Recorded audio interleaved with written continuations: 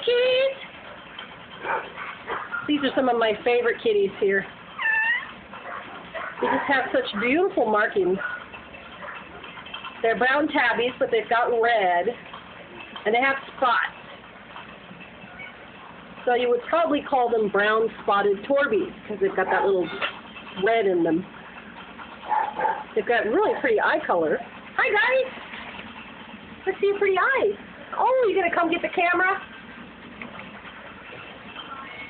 Should be both female. We got they're very sweet. They like to come up front when you pay attention to them.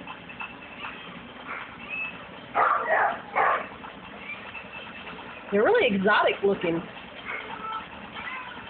I can have a kitty that looks like it's wild, but they're so mellow. Yeah. And these guys are in pens 20 and 21. So they can move around a little bit. They don't really like to sit still. Stuff. Okay. Say goodbye. Say come take me home.